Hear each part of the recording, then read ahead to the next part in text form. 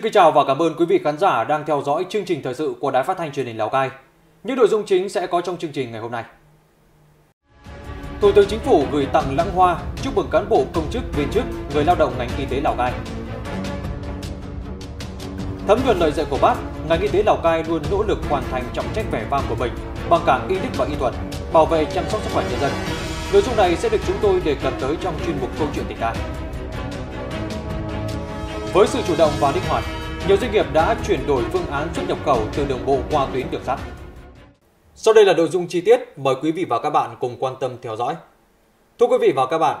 theo ủy quyền của Thủ tướng Chính phủ Phạm Minh Chính, sáng ngày 27 tháng 2, đoàn công tác của tỉnh do đồng chí Giàng Thị Dung, Phó Chủ tịch Ủy ban nhân dân tỉnh làm trưởng đoàn, đã đến thăm, chúc mừng và gửi tặng lãng hoa tươi thắm thể hiện tình cảm, sự động viên, chia sẻ của Thủ tướng Chính phủ dành cho cán bộ y bác sĩ, nhân viên ngành y tế Lào Cai nhân kỷ niệm 67 năm Ngày Thầy thuốc Việt Nam, 27 tháng 2 năm 1955, 27 tháng 2 năm 2022.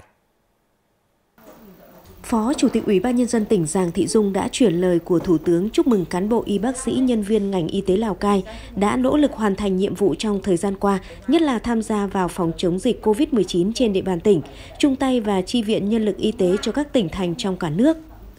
Nhân dịp này, đồng chí Giàng Thị Dung biểu dương những thành tích đạt được và sự nỗ lực của ngành y tế Lào Cai trong suốt thời gian qua, đồng thời gửi lời cảm ơn sâu sắc đến người thân, gia đình các cán bộ y bác sĩ và nhân viên y tế trên địa bàn tỉnh, những người đã chia sẻ khó khăn là hậu phương vững chắc để mỗi cán bộ ngành y tế hoàn thành xuất sắc nhiệm vụ được giao đồng chí cũng mong muốn ngành y tế cần chỉ đạo các đơn vị cơ sở y tế, các cán bộ y bác sĩ và nhân viên y tế tiếp tục nâng cao tinh thần trách nhiệm, tăng cường công tác phòng chống dịch, mục tiêu là không để gia tăng các ca nhiễm bệnh, không để bệnh nhân COVID-19 trở nặng, đồng thời nhanh chóng bao phủ vaccine để đảm bảo phòng dịch. Thay mặt cán bộ y bác sĩ, công chức viên chức người lao động ngành y tế tỉnh, lãnh đạo Sở Y tế đã cảm ơn sự quan tâm của Đảng, Nhà nước, Chính phủ và lãnh đạo tỉnh Lào Cai đối với cán bộ y bác sĩ và nhân viên ngành y tế Lào Cai đồng thời nêu quyết tâm tiếp tục nỗ lực hơn nữa, vượt qua khó khăn thách thức, làm tốt nhiệm vụ chăm sóc, bảo vệ sức khỏe nhân dân trong tỉnh. Sáng ngày 27 tháng 2, Sở Y tế phối hợp với trường Cao đẳng Lào Cai đã cử 30 học sinh, sinh viên tham gia hỗ trợ phòng chống dịch COVID-19 cho các địa phương trên địa bàn tỉnh. Cụ thể, đợt này có 10 sinh viên đã lên đường hỗ trợ tại Trung tâm Y tế thị xã Sapa và 20 sinh viên hỗ trợ tại Trung tâm Y tế thành phố Lào Cai. Nhiệm vụ của các sinh viên tham gia hỗ trợ đợt này là thực hiện quản lý F0 tại nhà, hướng dẫn, tư vấn theo dõi sức khỏe và sử dụng thuốc, lấy mẫu xét nghiệm SARS-CoV-2 và nhiệm vụ khác do đơn vị tiếp nhận phân công. Trước khi tiếp nhận nhiệm vụ, sinh viên đã thực hiện xét nghiệm test nhanh virus SARS-CoV-2 các đơn vị tiếp nhận sinh viên sẽ phân công nhiệm vụ cụ thể cho học sinh sinh viên theo nhu cầu của địa phương và phù hợp với năng lực đã được tập huấn. Đồng thời bố trí chỗ ăn nghỉ, các trang thiết bị bảo hộ cần thiết để thực hiện công việc. Ngày 27 tháng 2, Lào Cai ghi nhận 2.272 ca mắc COVID-19. Trong đó, thành phố Lào Cai ghi nhận nhiều nhất với 974 trường hợp. Ít nhất là huyện Simacai là 21 trường hợp. Các ca bệnh không biểu hiện hoặc biểu hiện nhẹ đều được tư vấn điều trị tại nhà. Vì vậy, cần tuân thủ nghiêm ngặt hướng dẫn của cơ quan y tế, khai báo sức khỏe trên phần mềm quản lý và điều trị bệnh nhân COVID-19 tại nhà theo quy định. Người dân tuyệt đối không tự ý mua thuốc điều trị COVID-19 trôi nổi trên thị trường. Đối với thực hiện test nhanh, người dân chỉ mua các loại kit test đã được Bộ Y tế thẩm định và phê duyệt tại các cửa hàng được cấp phép kinh doanh mặt hàng này.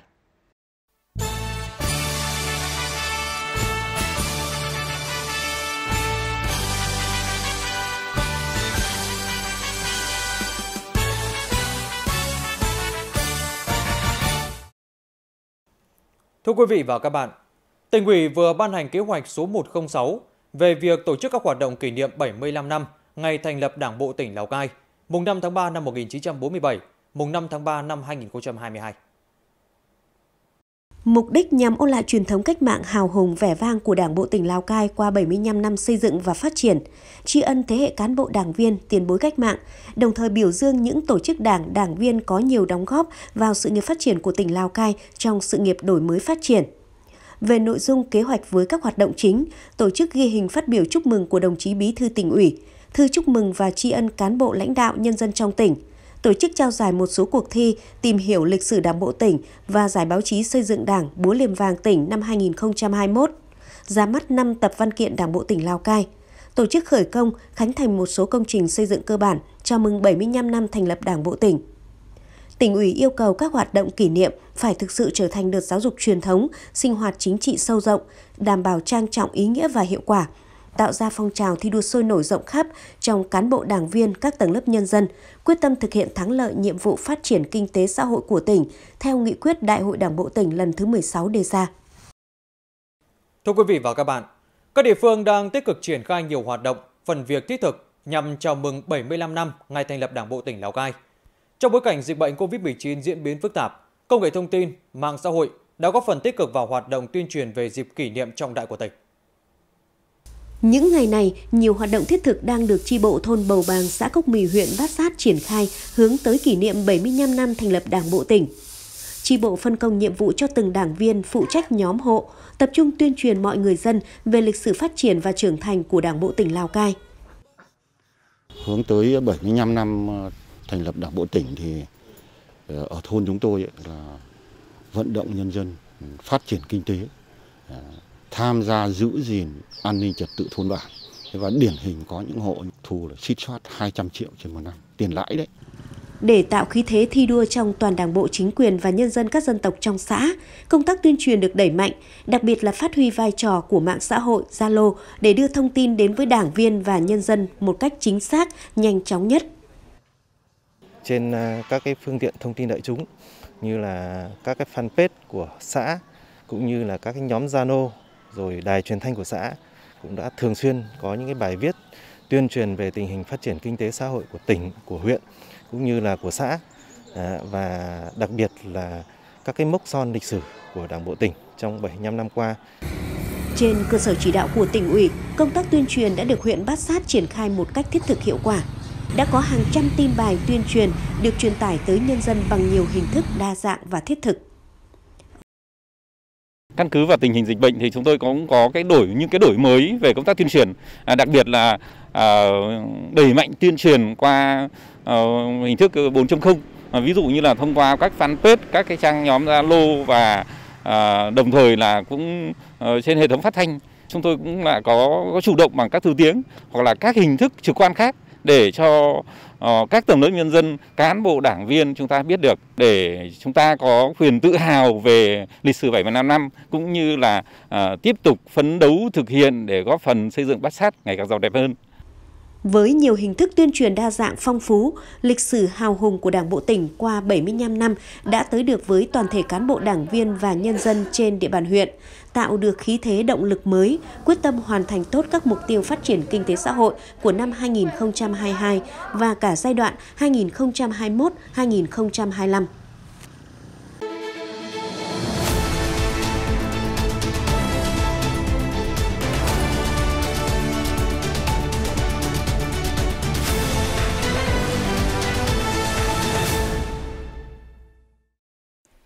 Thưa quý vị và các bạn, người bệnh phó thác tính bệnh của họ nơi các cô chú. Chính phủ phó thác cho các cô, các chú việc chữa bệnh tật và giữ gìn sức khỏe của đồng bào. Đó là nhiệm vụ rất vẻ vang. Vì vậy, cán bộ phải yêu thương, phải săn sóc người bệnh như anh em ruột thịt của mình, coi họ đau đớn như mình đau đớn. Những lời tin yêu này được trích trong bức thư Chủ tịch Hồ Chí Minh gửi đến những người làm công tác y tế cả nước nhân dịp tổ chức Hội nghị cán bộ y tế tại Hà Nội vào ngày 27 tháng 2 năm 1955. Thấm nhuần lời dạy của người, ngành y tế Lào Cai đã luôn nỗ lực làm tốt trọng trách vẻ vang của mình bằng cả y đức và y thuật, thực hiện thành công sự nghiệp bảo vệ, chăm sóc sức khỏe nhân dân. Ngày Thầy thuốc Việt Nam 27 tháng 2 là dịp để mọi người tôn vinh công lao, đóng góp không mệt mỏi của các y bác sĩ, cán bộ y tế trong bảo vệ, chăm sóc sức khỏe nhân dân. Đặc biệt là trong cuộc chiến chống dịch Covid-19, họ chính là những chiến sĩ giữa thời bình. Đây cũng sẽ là nội dung sẽ được chúng tôi đề cập đến trong mục câu chuyện tỉnh tang ngày hôm nay. Xin mời chị Thu Hồng. Vâng, xin cảm ơn anh Minh Đức. Thưa quý vị và các bạn, trước diễn biến phức tạp của đại dịch COVID-19, hơn 2 năm qua, hàng nghìn cán bộ y, bác sĩ của Lào Cai đã gác lại niềm riêng, sung phong tình nguyện đi vào những điểm nóng nhất của dịch bệnh. Đối mặt với nhiều khó khăn vất vả, đặc biệt là nguy cơ bị lây nhiễm, song đội ngũ thầy thuốc của Lào Cai vẫn không quản ngại, nỗ lực vượt khó, hoàn thành tốt mọi nhiệm vụ được giao. Tình nguyện xa gia đình, người thân, nhận nhiệm vụ vào khu thu dung điều trị cho bệnh nhân COVID-19 nặng tại Bệnh viện Sản Nhi tỉnh. Niềm vui mỗi ngày của điều dưỡng Long Tiến Sang là được nhìn thấy những người bệnh của mình có tiến triển tốt về sức khỏe, cải thiện được chức năng hô hấp, ăn ngon, ngủ tốt. Hầu như là các bệnh nhân còn nhiều bệnh nhân về suy hô hấp. Một số bệnh nhân ở trong này thì cũng à, thở máy. Đấy thì cái cường độ công việc ở trong này thì tất nhiên là sẽ vất vả hơn ở ngoài rất là nhiều. Ngoài à, điều trị à, ra thì chúng tôi còn phải động viên người bệnh chăm lo cho các cụ từng bữa có mặt tại bệnh viện giã chiến số 2 của tỉnh từ trước Tết Nguyên đán. Số lượng bệnh nhân nhập viện ngày càng tăng, cường độ làm việc mỗi ngày của kỹ thuật viên Dương Đức Hoàng và các đồng nghiệp tăng gấp nhiều lần. Thế nhưng, mọi hoạt động chăm sóc, điều trị cho người bệnh vẫn được diễn ra chú đáo, ân cần, hạn chế tối đa bệnh nhân chuyển nặng và tử vong. Ờ, đôi khi bệnh nhân có những diễn biến phức tạp ấy, lúc nửa đêm, nửa hôm hoặc là những cái lúc mà chập chờn mà nó hai ba giờ sáng ấy, bệnh nhân có những cơn đau thắt ngực khó thở thì bác sĩ cũng sẽ cho những cái chỉ định và kỹ thuật viên x quang lúc đấy là phải phối hợp trực tiếp với bác sĩ nhanh nhất có thể vừa là thực hiện cái nhiệm vụ là kỹ thuật là chụp chiếu x quang vừa là ờ, đo cái ờ, nồng độ SpO2 ấy bởi vì hai cái đấy là để theo dõi sức khỏe trực tiếp của bệnh nhân một ngày làm việc của các thành viên trạm y tế lưu động phường Sapa, thị xã Sapa cũng thường bắt đầu từ rất sớm và không có thời gian kết thúc. Lực lượng mỏng, bệnh nhân đông, song vượt lên trên tất cả, công tác quản lý, giám sát và hỗ trợ chăm sóc, điều trị tại nhà cho người bệnh vẫn được thực hiện kịp thời, chu đáo, giúp bệnh nhân vững tin và yên tâm hơn khi điều trị tại nhà. Với cái địa bàn nó rộng, lực lượng thì cũng hơi mỏng, nhưng mà chúng tôi cố gắng. Có hôm mà chúng tôi đang ăn cơm thì ờ, có bệnh nhân gọi có triệu chứng gì thì chúng tôi cũng đã bỏ lại cơm, chúng tôi tiếp tục mặc bảo hộ chúng tôi lên đường đến nhà người dân, tư vấn cho người ta để cũng không nên hoang mang và không nên sợ và cứ yên tâm ở nhà tự điều trị tại nhà và có gì khó khăn hoặc có cái biểu hiện gì thì cũng gọi đến chúng tôi và chúng tôi sẽ có mặt ngay. Thưa quý vị và các bạn, với con số bệnh nhân lên tới hàng chục nghìn ca như hiện nay thì quả là không thể đong đếm hết được những khó khăn, vất vả của lực lượng y tế tuyến đầu chống dịch. Họ luôn quan tâm, chăm lo cho bệnh nhân bằng cả tấm lòng, trách nhiệm cao cả của người thầy thuốc vì dân. Ghi nhận ca bệnh đầu tiên từ ngày 7 tháng 2, lực lượng y tế xã Tả Văn đã nhanh chóng phối hợp cùng chính quyền địa phương thực hiện khoanh vùng, truy vết, lấy mẫu làm xét nghiệm.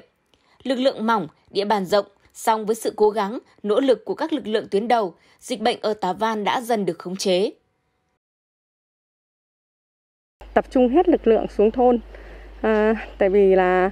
cái thôn này nó rất là rộng ấy. Một đội thì sẽ là lấy mẫu xét nghiệm, một đội là đi truy vết luôn. Đến à, từng nhà, từng hộ xem là ờ, có những ai có triệu chứng ho sốt, khó thở đấy thì lập tức lấy mẫu luôn. Tham gia y tế thôn bản đã 22 năm, phụ cấp chỉ vài trăm nghìn đồng mỗi tháng, nhưng vì trách nhiệm, ông Ma Văn Thức vẫn luôn gắn bó với công việc. Thời điểm bùng phát dịch ở thôn, ông Thức đảm nhiệm công việc của trưởng thôn, bí thư tri bộ, ban mặt trận thôn và y tá thôn bản. Vất vả là vậy, nhưng ông Thức vẫn nỗ lực hoàn thành xuống cơ sở thôn bản là tuyên truyền cho bà con nhân dân ờ, khử khuẩn vệ sinh ờ, môi trường xung quanh đi cả ngày chỉ đêm vẫn phải đi thưa quý vị và các bạn với sự quan tâm của các cấp các ngành đặc biệt là sự nỗ lực của đội ngũ thầy thuốc công tác phòng chống dịch COVID-19 trên địa bàn tỉnh cơ bản được thực hiện hiệu quả. Tỷ lệ tiêm phòng đạt cao, người dân mắc bệnh được quan tâm, chăm sóc, điều trị kịp thời đã tạo sự đồng thuận, nhất trí cao trong nhân dân. Tính đến ngày 26 tháng 2, toàn tỉnh ghi nhận 22.991 bệnh nhân mắc COVID-19. Trong đó có 9.631 bệnh nhân đã được điều trị khỏi và ra viện. Đây không chỉ là niềm vui, niềm phấn khởi với người bệnh, mà còn là niềm hạnh phúc của những cán bộ, nhân viên y tế thực hiện nhiệm vụ phòng chống dịch.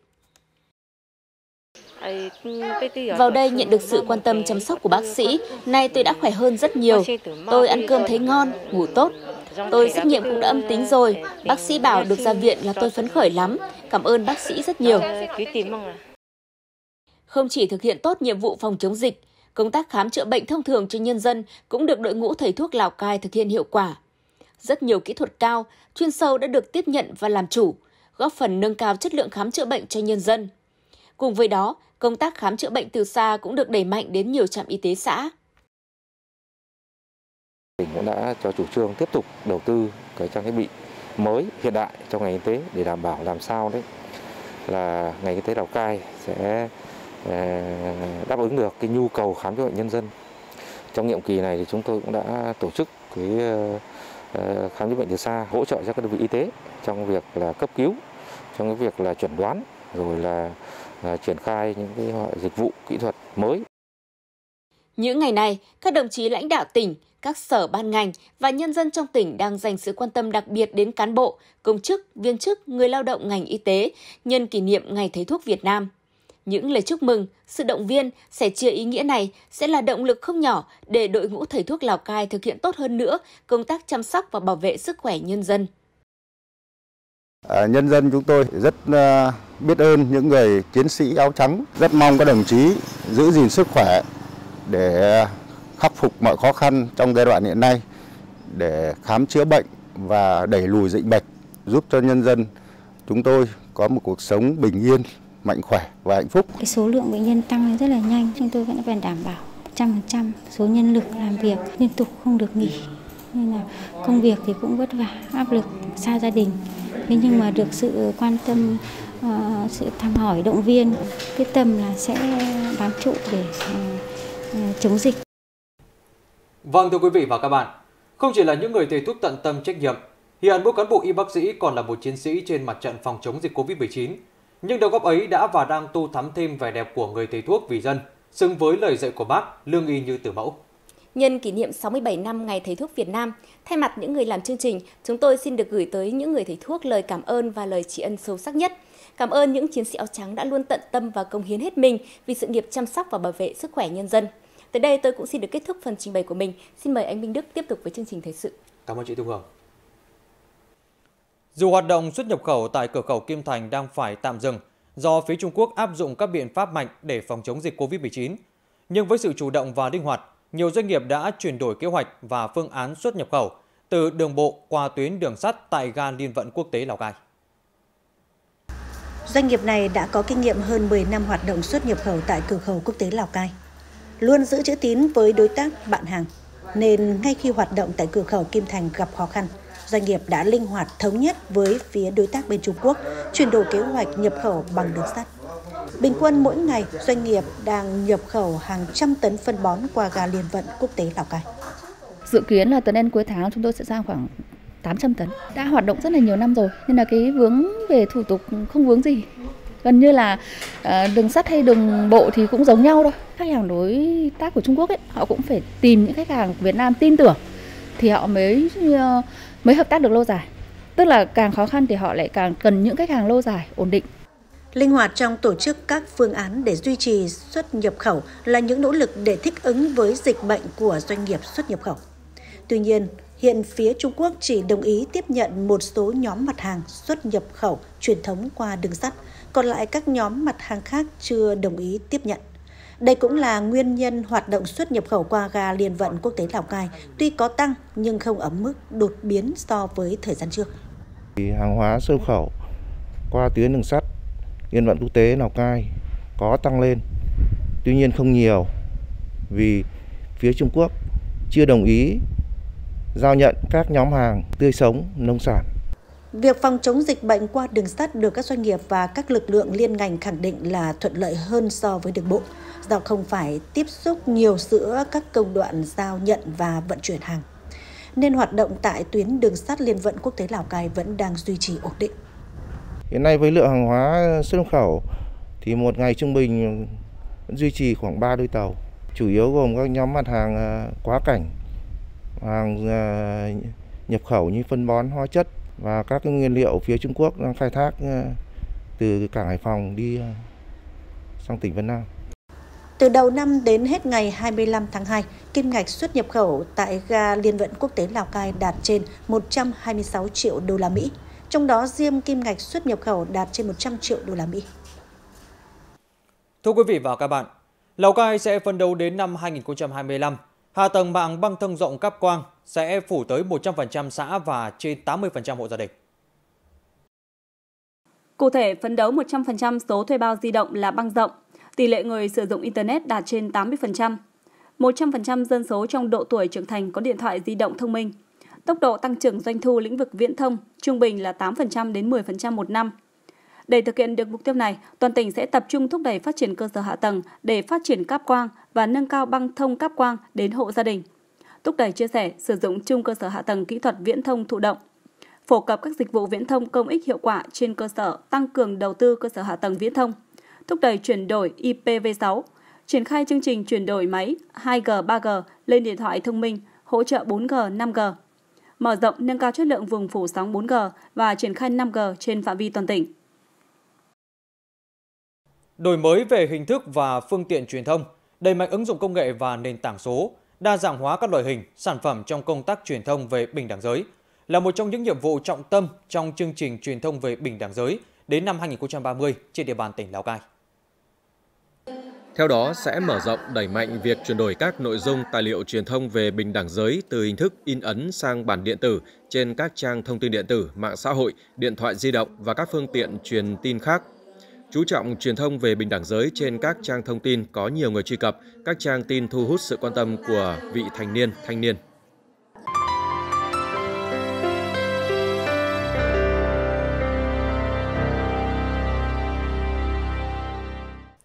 Tại huyện Mường Khương, người nùng dín sống chủ yếu ở các xã Nấm Lư, Lùng Không Nhiên, Tùng Trung Phố và thị trấn Mường Khương.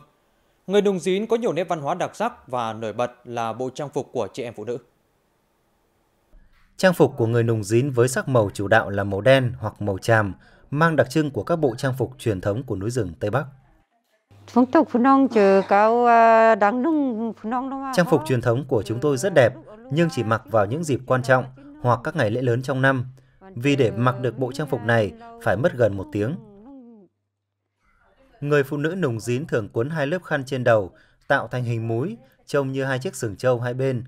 Nét tượng trưng này thể hiện quan niệm của người nùng dín, coi con trâu là đầu cơ nghiệp. Độc đáo nhất trên chiếc áo là những hoa văn ở khuy cổ áo được làm bằng bạc, có hình con bướm hai bên và gắn các tua hình tam giác. Đây là biểu tượng thể hiện sự mong cầu hạnh phúc của người phụ nữ nùng dín. Lần đầu tiên à, ông bà bên chồng đi đón này là mặc lần lần đầu tiên, lần này là lần thứ hai. Chị cũng chưa chưa bao giờ biết làm ấy, toàn là các cụ biết làm thôi, chỉ mới mặc chỉ chỉ mặc còn không biết là không biết mặc ấy. Lúc đấy cuốn khăn cũng thế cho bà cuốn cho thôi, không biết làm à. Hiện nay, nhiều phụ nữ trẻ người nùng dín không thông thạo việc mặc trang phục truyền thống. Vì thế, những người lớn tuổi luôn mong muốn con cháu được tiếp cận và tìm hiểu về những nét đẹp trong trang phục truyền thống của dân tộc mình. Các bạn trẻ bây giờ ít người biết mặc trang phục này lắm, nhưng mỗi khi có dịp lễ lớn, chúng tôi lại bảo các cháu mặc trang phục truyền thống cho đẹp và giữ gìn bản sắc văn hóa. Trang phục truyền thống là niềm tự hào của người nùng dín. Dù trong cuộc sống hiện đại ngày nay, người nùng dín vẫn giữ gìn nét đẹp của bộ trang phục truyền thống đó, góp phần tạo nên sự phong phú và đa sắc màu của 25 dân tộc Lào Cai.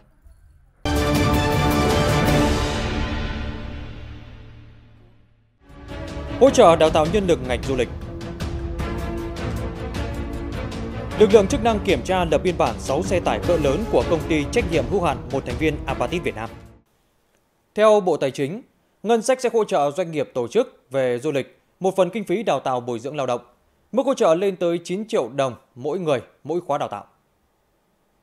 Cụ thể, đối với đào tạo bồi dưỡng phát triển nguồn nhân lực du lịch, ngân sách hỗ trợ doanh nghiệp tổ chức về du lịch một phần kinh phí đào tạo, bồi dưỡng nâng cao trình độ kỹ năng nghề cho lao động du lịch. Mức hỗ trợ đối với người tham gia khóa đào tạo nghề đến 3 tháng tối đa 4,5 triệu đồng trên người trên khóa đào tạo. Người tham gia khóa đào tạo trên 3 tháng thì mức hỗ trợ sẽ tính theo tháng, mức thu học phí và thời gian học nghề nhưng tối đa không quá 1,5 triệu đồng trên tháng trên người và không quá 6 tháng. Như vậy, mức hỗ trợ không quá 9 triệu đồng trên người trên một khóa đào tạo. Các nhà mạng và ngân hàng đã thống nhất giải pháp thu phí chọn gói dịch vụ SMS Banking để đảm bảo lợi ích của khách hàng. Theo đó, các ngân hàng đề nghị các nhà mạng tiếp tục tăng cường đảm bảo an toàn, bảo mật, đồng thời đề nghị Bộ Thông tin và Truyền thông có giải pháp chặt chẽ hơn để bịt các lỗ hổng và kẽ hở bảo mật, nơi các đối tượng tội phạm lợi dụng tấn công, để bù đắp chi phí cũng như giúp khách hàng tránh được những rủi ro lừa đảo qua tin nhắn, các ngân hàng khuyến cáo khách hàng chuyển sang sử dụng các tiện ích của ngân hàng số và sử dụng xác thực giao dịch thông qua Smart OTP. Ngày 25 tháng 2, Công an thành phố Lào Cai đã kiểm tra lập biên bản đối với 6 xe tải cỡ lớn của công ty trách nhiệm hữu hạn một thành viên Apatit Việt Nam. Trước đó, theo phản ánh của người dân thôn đoàn kết xã Tả Phời về việc thời gian gần đây có nhiều xe tải trọng cỡ lớn của công ty trách nhiệm hữu hạn một thành viên Apatit chạy qua khiến quặng rơi xuống đường gây ô nhiễm và làm hư hỏng mặt đường. Công an thành phố Lào Cai đã tiến hành kiểm tra tại khu vực đường liên thôn ngã ba Bến Đá đến thôn Lắp Máy xã Tả Phời, phát hiện 6 ô tô tải ben cỡ lớn, 5 xe không có biển số, chỉ có số hiệu gồm 1045, 1047, 1035, 1049, 1006 lưu thông trên đường. Trong đó có 3 xe tải đang chở hàng trên xe không phủ bạt. Qua kiểm tra, cả 6 lái xe đều không xuất trình được giấy tờ hợp pháp của các phương tiện kể trên. Lực lượng chức năng đã tiến hành lập biên bản vụ việc, tạm giữ giấy phép với các lái xe, đồng thời yêu cầu tạm dừng hoạt động đối với 6 phương tiện kể trên để tiếp tục điều tra làm rõ.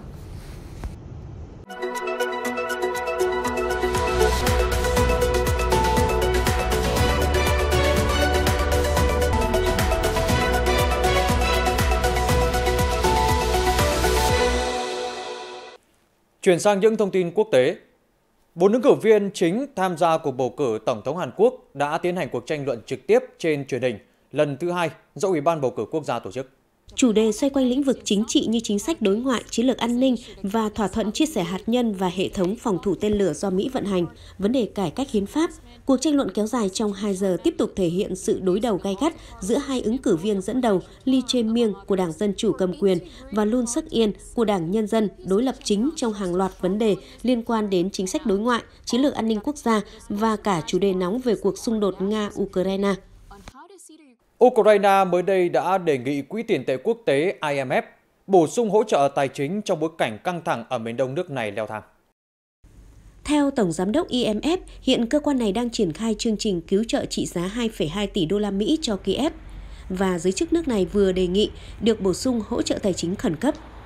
Ban Giám đốc IMF đã tổ chức cuộc họp để thảo luận về tình hình tại Ukraine và cam kết tiếp tục hỗ trợ hết sức có thể. Cơ quan y tế đầu ngành của Mỹ đã điều chỉnh hướng dẫn đeo khẩu trang để phòng dịch COVID-19. Theo đó, hầu hết người dân nước này sẽ không phải đeo khẩu trang tại những địa điểm công cộng trong nhà, bao gồm học sinh các trường học. Trong hướng dẫn mới, Trung tâm Kiểm soát và Phòng ngừa Dịch bệnh CDC của Mỹ sử dụng cả tham số về số ca nhập viện và năng lực đáp ứng của các bệnh viện và tạo ra thang đánh giá mức độ COVID-19 cộng đồng. Theo cách tính mới, hiện hơn 70% dân số Mỹ sống ở những khu vực không khuyến nghị đeo khẩu trang, trong đó có cả các trường học ở vùng xanh và vùng vàng. Tuy nhiên, hướng dẫn mới không được áp dụng trên các hệ thống giao thông. Người dân có thể tra cứu trên trang web của CDC về những vùng xanh, vàng hoặc cam trên bản đồ quốc gia. Thủ đô New Delhi của Ấn Độ chính thức chấm dứt các biện pháp hạn chế được áp dụng để phòng chống dịch COVID-19. Thông báo được đưa ra sau khi dữ liệu của chính phủ cho thấy làn sóng lây nhiễm biến thể Omicron gần đây đã giảm.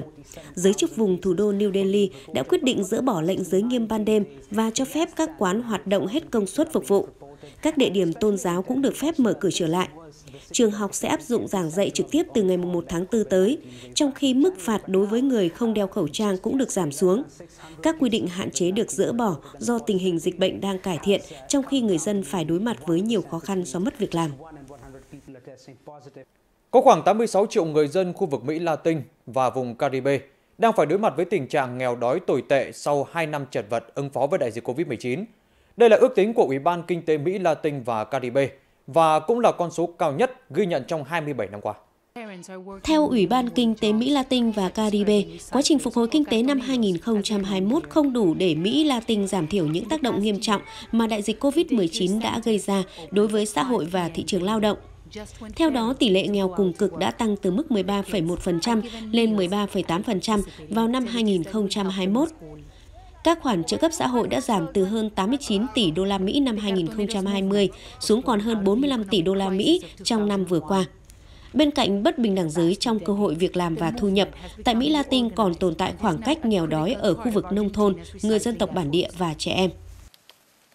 Các trận mưa xối xả chút xuống khu vực miền đông Australia đã khiến nước lũ tại đây lên mức cao nhất trong nhiều thập kỷ qua, nhấn chìm nhà cửa và cuốn trôi nhiều phương tiện giao thông, trong đó có ô tô của nhóm tham gia cứu hộ. Nhà chức trách bang Queensland cho biết, mưa lũ kể từ đầu tuần này đã cướp đi sinh mạng của 4 người và khiến hai người khác mất tích. Theo cơ quan dịch vụ khẩn cấp Queensland, với một số vùng phía đông nam, đây là đợt mưa lũ nghiêm trọng nhất trong vài thập kỷ. Trong tuần qua, nhiều khu vực của bang Queensland mỗi ngày hứng chịu lượng mưa từ 100mm đến 200mm, khiến nước sông tràn bờ, nhiều khu vực chìm trong nước lũ, trong khi nhiều trục đường giao thông chính hoàn toàn bị gián đoạn. Vodka của Nga và các loại đồ uống có cồn khác của Nga bất chợt vang bóng trên kệ nhiều cửa hàng rượu tại Canada. Đây dường như là một hành động thể hiện thái độ của người dân Canada trước cuộc xung đột tại Ukraine. Theo số liệu của cơ quan thống kê Canada, năm 2021, Canada đã nhập khẩu đồ uống có cồn trị giá 4,8 triệu đô la Canada, tương đương 3,78 triệu đô la Mỹ từ Nga vào. Vodka là loại rượu được người tiêu dùng Canada ưa chuộng, thứ hai sau rượu whisky. Không quản gió lạnh, gian lao trên đường tuần tra biên giới, dù trong hoàn cảnh nào, những chiến sĩ biên phòng vẫn luôn vững niềm tin, chắc tay súng bảo vệ biên cương Tổ quốc. Hình ảnh đẹp về những chiến sĩ quân hàm xanh chúng tôi chuyển đến quý vị và các bạn ngay sau đây, cho chúng ta thấy phần nào sự hy sinh thầm lặng của họ. Chương trình thời sự của Đài Phát thanh Truyền hình Lào Cai cũng xin được khép lại tại đây. Cảm ơn